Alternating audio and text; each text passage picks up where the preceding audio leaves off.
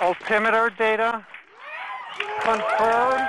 The excitement from these NASA scientists and engineers was clear as they made space flight history. These still images from Mars show Ingenuity, the first helicopter ever to fly on another planet. And then came the video. It's grounded at first and then shows us hovering our three meters above the Martian surface and then touching back down. It's amazing, brilliant. We know that our time to make a difference at Jezero Crater, Mars is not yet over. This is just the first great flight. Congratulations. Take that moment and then after that, let's get back to work and more flights. Congratulations. Ingenuity took off from the dusty red surface of Mars's Jezero crater early on Monday. But the data took several hours to reach Earth. A milestone for spaceflight that NASA scientists compared to the first flight on Earth by the Wright brothers in 1903.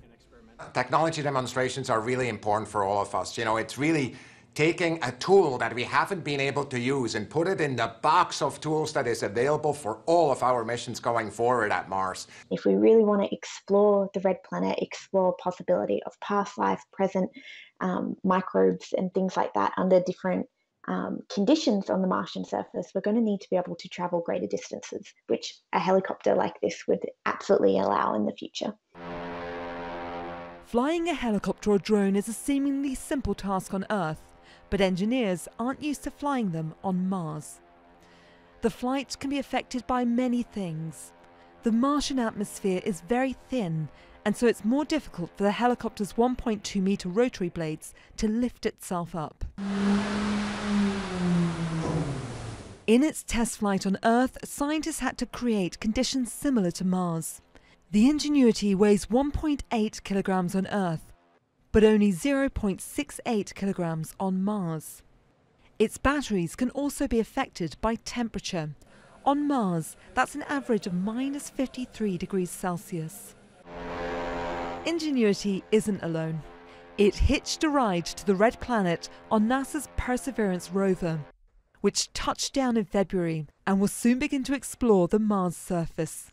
Ingenuity is expected to conduct more flight tests with the hope that one day it can travel further as part of NASA's quest to find any signs of life on Mars.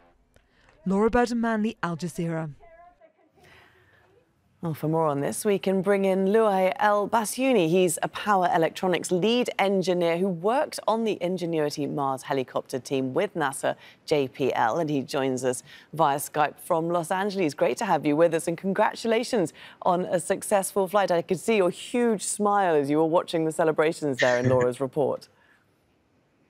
Yes, I mean, thank you, thank you. I mean, it's a really exciting time. I mean, I cannot uh, express my feelings. I mean, since early I mean, been up really early in the morning watching the feed live from Mars, and it's just been really, you know, I mean, the happiest day in my life. So, you know, to be part of such a great team and to achieve such a great achievement. Oh, well, we're very happy to be able to speak to you about it now. I mean, the conditions on Mars, they make it very difficult, don't they, to get such um, an apparatus airborne. How did you overcome these difficulties? So I mean, I mean, this is had we had to like you know be part of the big team, like you know, to decide on on a lot of the study how you know the can we fly on another planet? I mean especially mars and we studied like the atmosphere and a lot of this translated down into like the size of the, propeller and you know and the, then the, the speed that this propeller is turning and how light the entire aircraft. So i mean one of the biggest challenges we had that we had to actually achieve the weight. So this is like when i first like joined in the pro in the in the project I mean, I got tasked with like this very small weight, like few few grams to design a motor inverter to control the motor, and then like we had to design a very light motor to be part of the rotor system. I mean, that's part of the team I worked on, and so I mean, a lot of that, and this is only like from the weight and the feasibility of flight, and then the other thing come in the environmental aspect, like you know the temperature. We had to really design things to work for negative 100 degrees C. I mean, the motor inverter itself will actually live in the Mars atmosphere, unlike a lot of the other electronic live in the warm box box you see in the bottom. So actually, that live in the top rotor. So I mean, I had to. This is part of the design design. So we had to do a lot of like designing for like negative 100 degrees C, which is very uncommon using electronics we use on Earth. Mm. You know, I mean, we most electronic goes negative 40 C. And at the same time, we have to consider a lot of the space radiation, the, the vibration from the trip, you know, and a, a lot of other things we had to consider.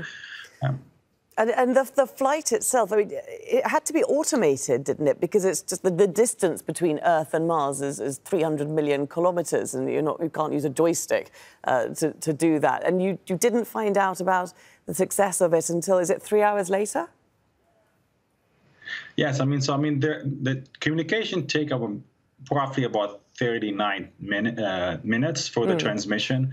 Uh, the helicopter communicate to a base station on the rover, and the rover talk to you know through the DSN system that actually communicate through two satellites around Mars to like few satellites on on Earth. So, and then by the time they get all the data, especially when you have a, a lot of data, you have to process that thing a little bit longer longer time, and you have to like decode it. So that's what probably added to the time that took until like we got all the informations.